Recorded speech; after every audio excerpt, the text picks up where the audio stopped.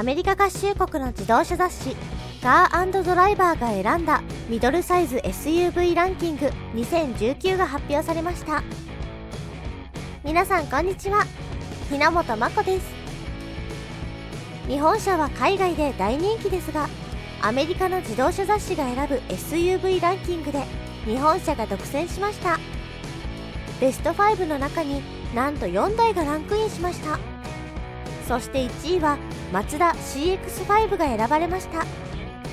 今回はそのランキング記事の翻訳の一部とそれに対しての海外の反応をご紹介します。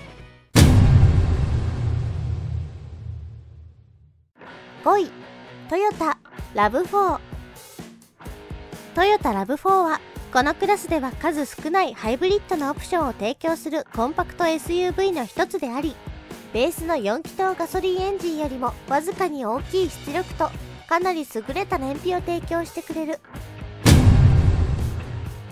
4位、スバルフォレスター。スバルは勝利の方程式をいじるようなことをほとんどせず、ほぼこれまで通りのルックス、優れた視認性、広々とした内部、そして標準装備の前輪駆動と大容量の積み荷スペースを提供している3位フォルクスワーゲンティグアン。184馬力のターボ直4エンジンは滑らかで特に高速道路で燃費もかなり良い。乗り心地は快適。内装もいいが後部座席はそれほど良くない。そして積み荷スペースも広々としている。2位ホンダ CRV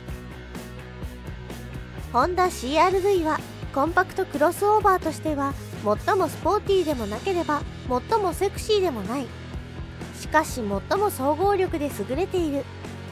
走りは整然としておりインテリアは使い勝手が良く装備も充実。客がクロスオーバーに求めるものをきちんと理解している1台と言える。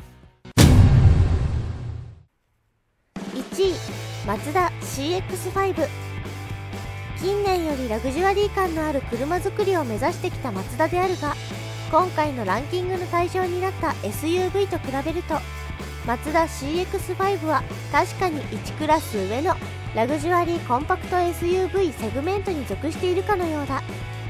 この SUV が持つ競争力は高級感だけではない。CX5 はそのセグメントの車らしからぬ反応性と操縦性で人々の心を引きつけてきた。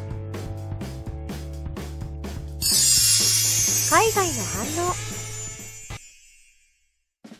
スバル XV とか結構な数のコンパクトクロスオーバーがリストから抜けているように思えるのだが。XV はサブコンパクトだぞ。あれはコンパクトじゃないのか。サブコンパクトと呼ばれる車も年々サイズがでかくなってるからよくわからなくなってきたよ。やっぱ日本車には勝てんな。前日産に乗ってもそんなこと言えんの？フォードよりかはマシじゃろ？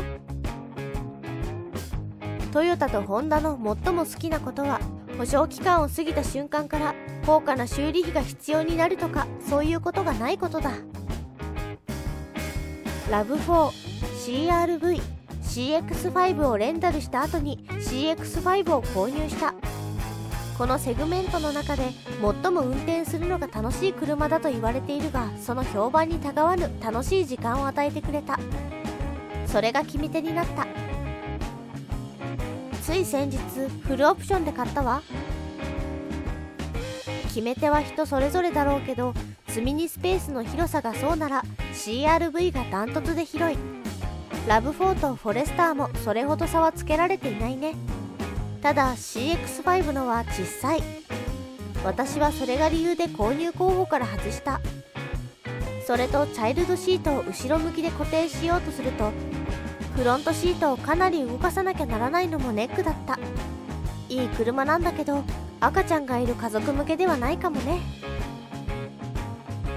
頻繁に修理に出さなければならなかったフォードエスケープからホンダフィットに乗り換えた。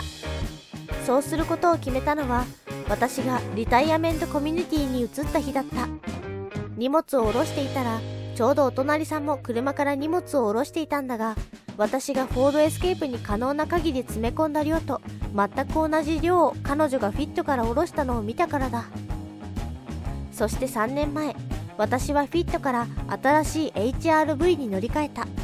それはフィットと同じマジックシートを持っていてそれゆえに荷物を載せる余裕がたくさんあった。フィットよりも大きい SUV のはずだが乗用車のようなハンドリングで信頼性も高くホンダのディーラーも素晴らしい。2014年に第一世代の CX5 を購入したが他の車と変える気はさらさらないぜ。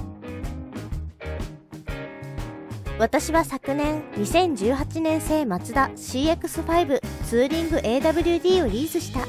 素晴らしい1台だ。ニューヨークのロングアイランドの雪も難なくこなしてくれた。ハンドリングは素晴らしいし安全機能も充実。2.5リッターエンジンは十分すぎるパワーを提供する。個人的にターボなんて必要ないと思った。10年保証がついているのはキアとヒュンダイだけ。必然的に購入するならこの2台からになる。以上だ。リセールバリューがゼロな車には10年保証が必要不可欠ってだけの話じゃろ？マーケティングの策略に見事にはまってるな。あれは全てを対象にした保証じゃない。基本的にパワートレインだけが対象になっている。そしてそれは最も故障しにくい場所だ。まあ賢いといえば賢い戦略。今年の1月にフォレスターを買った。高速道路での燃費は 30mpg 乗り心地はいいし走りはそれなりだしなんといっても広々している。このリストに載っている車の多くをチェックしたけど私もフォレスターを選んだわ。なんだ？松田から金をもらって書いたのか？だが待ってほしい。もしかしたら単に松田がいい車を作ったというだけかもしれない。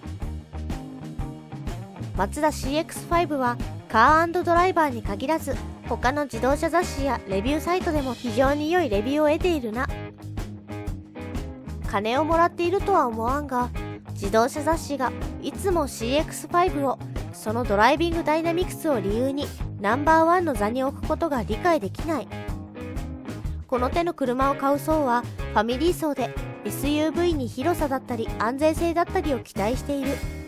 そういった意味ではホンダやスバルの方がずっと優れている。その2つに続く3位だったら納得。個人的には納得のランキング。この手のランキングには普段は同意できないんだがまああの16位は別として私がランク付けしたとしても同じ結果になったと思う。このクラスなら松田が1位ってのは間違いない。ホンダもスバルもトヨタもマイルガロンは最高クラス。アメリカの自動車メーカーはいい加減追いつかなあかんで、ね、クライスラーでない限りどれもいい車だよ。最後までご視聴いただきありがとうございました。よろしければチャンネル登録お願いします。ではまたお会いしましょう。日本っていいね。